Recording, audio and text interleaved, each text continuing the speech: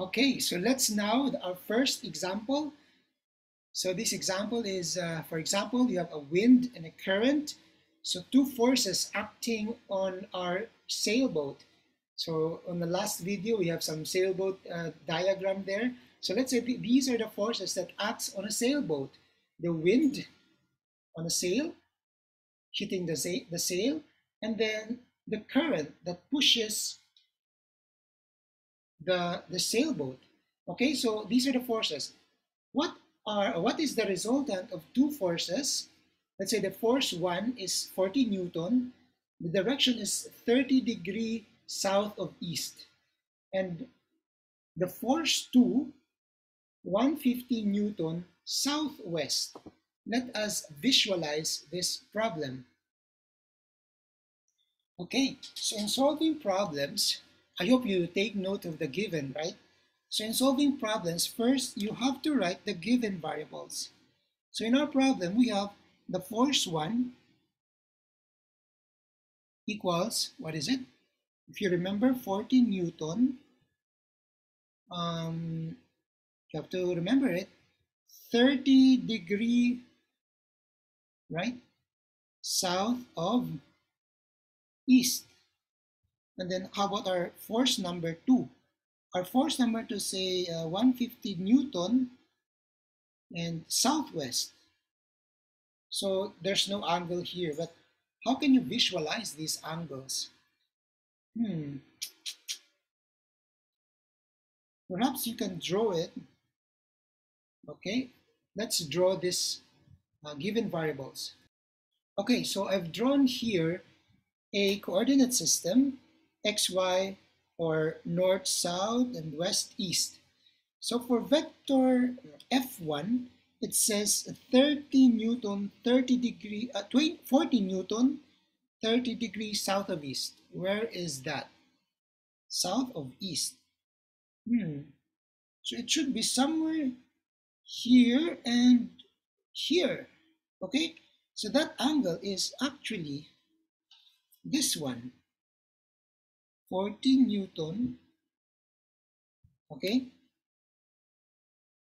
And this is your 30 degree, 30 degree south of east, somewhere there. So this is your angle.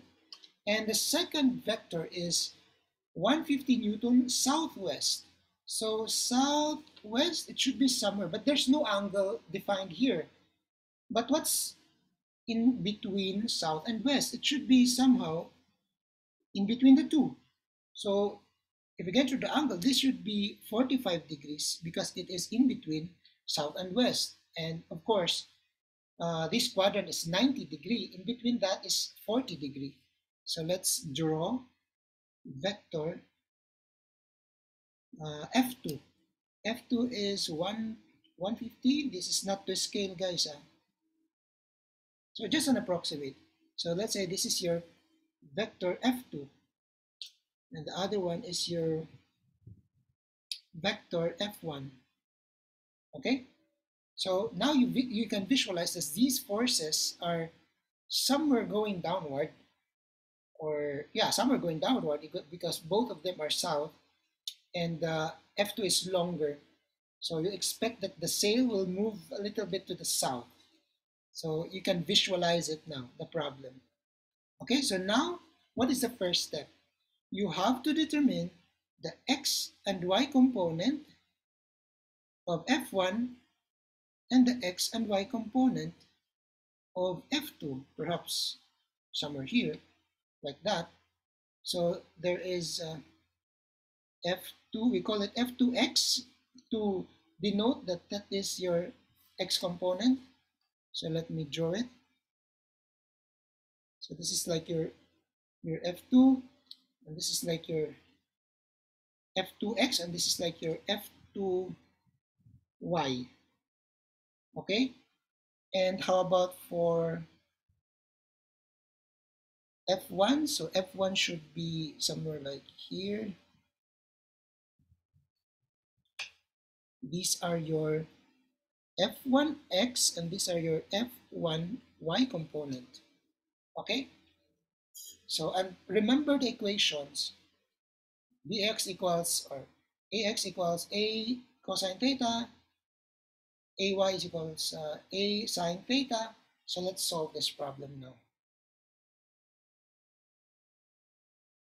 So when solving uh, vectors using component method, it's better to solve it in a tabular way. So you have x components here, you have y components here, and you have force 1, and we know force 1 has x component and has some y component. Our x component of 1 is f1x, and that is f1 cosine theta. okay? And then for y component, f1y equals f1, just change the whether sine or cosine, sine theta. And then you can now substitute the value. F1 from our given is 40 Newton. 40 Newton cosine. What is our angle? The angle that you're going to use is actually with respect to the positive x-axis. This is very critical. Okay?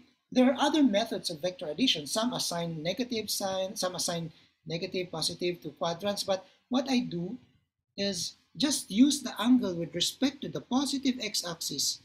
So what you're going to do is, instead of using 30, use this angle. And what is that angle? One complete revolution is 360. If you have 30 degree here, then you just deduct 30 degrees. So the angle is 360 minus 30. So the angle that you're going to use here is 330 degrees. Again, with respect to the positive x-axis. Okay, so that is the angle that you're going to use here, 330 degree. And if you're going to use your calculator, okay, you can solve it you should be able to get an answer of, you can try it, okay? Mm, you can check if I made a mistake. I think it's about uh, mm, 35, I think, 35. I think it's about 35 Newton. So this is now your X component of F1. And then for F1Y, the Y component, it's the same, but except you are you, you're going to use sine. 40 Newton sine of 330. I told you it's the same, but except sine. So if you get your calculator here, sine of 330 times 40, you should get an answer of negative. So now the negative sign can be included because it's just, you know, what you computed with sine 330. Okay, so these are now our x and y components for the F1. We just started I told you, you need your brain cells here for this topic. So how about for F2? What is the x component of F2? What is the y component of F2? Same formula. F2 cosine theta. This one F2 sine theta. And so substitute the value. The value for F2 is so you have here 150 south of west. And what angle are you going to use? It's not 45, but with respect to the positive x-axis. So if this is 90, 180, and then another 45, so what is it? 90 plus 90, 180, plus 45. What is that angle? 180 plus 45 I think it's 221. You should use your calculator. 221 degrees. So that's the angle that you're, you're going to use with respect to the positive x-axis. Okay, if I made a mistake, oh, good luck. so, verify. 221. So, F2 is, the magnitude of F2 is this one, 150. 150 Newton cosine of what is it? 2 to 1. 2 to 1 degrees. And using calculator, I think you should get an answer of negative 106.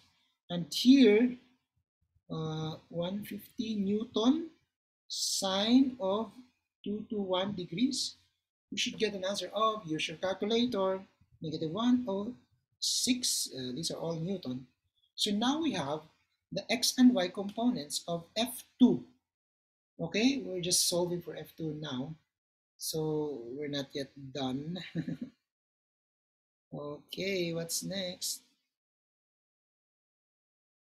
The next step is if you're going to take a look at your notes, what's the step two?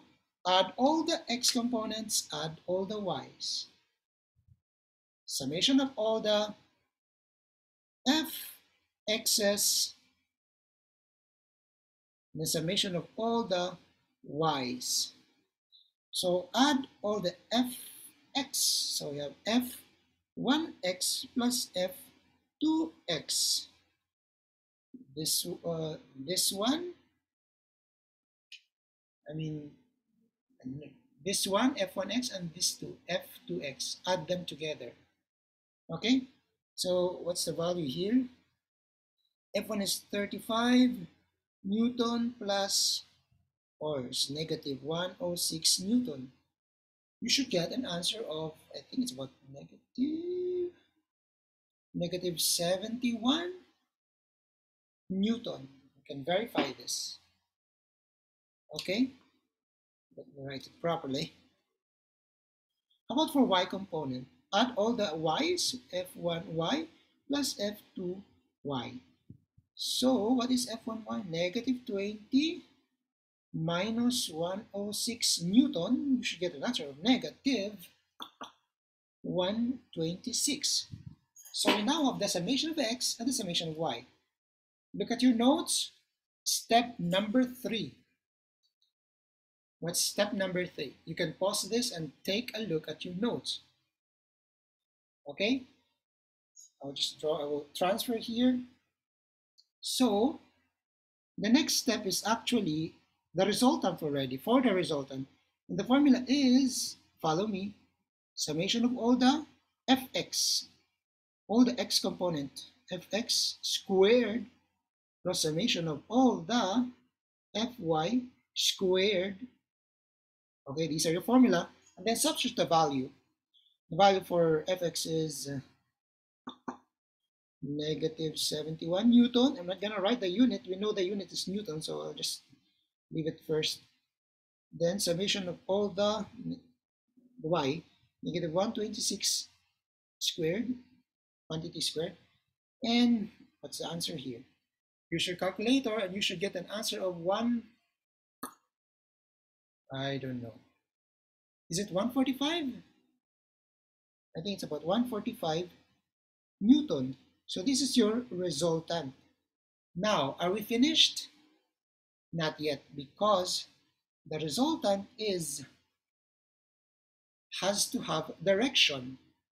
Okay, so to compute for the direction, theta equals inverse tangent of absolute value summation of y over summation of x.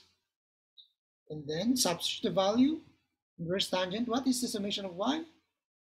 It's negative 1 to 6. The summation of x, negative 71. So the angle that you should get here is, you should calculate our absolute value. So doesn't matter if it's negative or positive. Hmm. And then inverse sine. You have to practice using your calculator how to do this inverse tangent. I'm not going to show it, but you have to try and solve or practice it. And the answer that I get is 60 yeah 60 about 60 degrees. Yeah about 60 degrees. Okay? So you now have these values but what does it mean? Okay? So let me copy this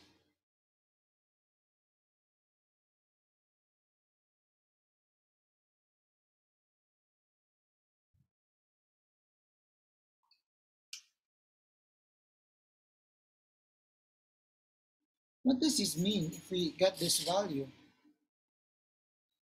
Okay, so where is this? See, here you have the summation of y is negative and the summation of x is negative. So you have you have to interpret your answer, your final answer. So therefore the resultant FR, we call it FR or R, or just R, I use R, is 145 Newton. And what is the direction? Can you just put here 60 degrees? No. You cannot do that. You have to analyze where this 60 degrees is. Okay, so you have the summation of y negative. Negative y. The summation of y is negative. The summation of x is negative. Okay, so you now have an idea where this line is, where this vector is. So it's somewhere in the x and y. So it's somewhere here. This is your 60 degrees. Okay? That's how you interpret. You have to go back to your summation of y, summation of x. Are they negative or positive? Are they positive or negative? Then you put it in the right place of the quadrant. Here you have positive x, you have negative y, and here, oh no, no, positive y, downward you have negative y, and on the left you have negative y. So that's how you answer. So therefore, this symbol means therefore the triple dot Fr, the resultant force is 145 Newton, 60 degree, what? South, west, north, east.